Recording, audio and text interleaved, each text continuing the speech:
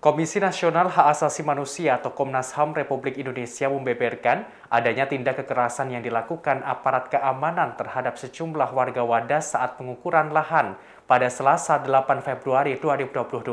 Temuan awal tersebut setelah dilakukan penggalian keterangan dan pencarian fakta oleh tim Komnas HAM di Wadas, Kecamatan Bener, Kabupaten Purworejo, Jawa Tengah. Dikutip dari Kompas.com pada Minggu 13 Februari 2022, Komisioner Komnas HAM BK Ulung Hapsara memberikan penjelasan. Pihaknya menemukan fakta aksi yang dilakukan aparat saat pengukuran lahan terkait penambangan andesit untuk pembangunan bendungan bener. Diketahui saat itu aparat kepolisian melakukan pengamanan pengukuran lahan warga yang sudah setuju. Pengukuran tersebut dilakukan oleh pihak BPN Jawa Tengah namun saat pengukuran, pihak BPN dihadang dan diprotes sejumlah warga Wadas. Aparat keamanan melakukan tindakan tegas hingga terjadi penangkapan.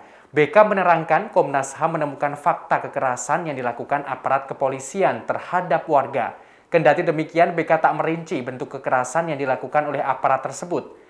BK menjelaskan selain itu ada sejumlah fakta lain yang ditemukan Komnas HAM saat meninjau langsung ke Wadas.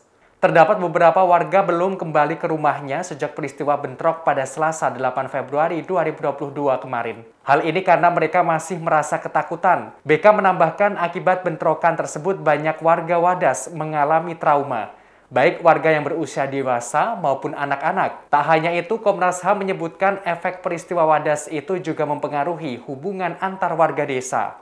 Terjadi kerenggangan hubungan antara warga yang setuju dan yang menolak penambangan batuan andesit. Atas sejumlah temuan ini, Komnas HAM akan meminta keterangan beberapa pihak terkait lainnya pada Minggu 13 Februari 2022.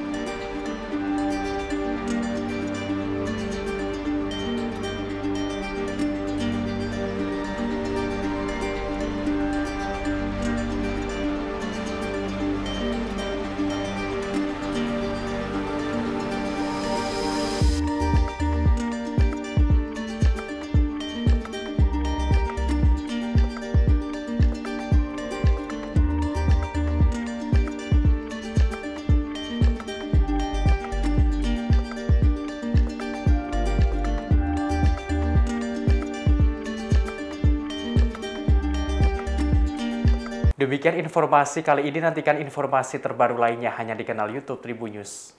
Terima kasih sudah nonton, jangan lupa like, subscribe, dan share ya!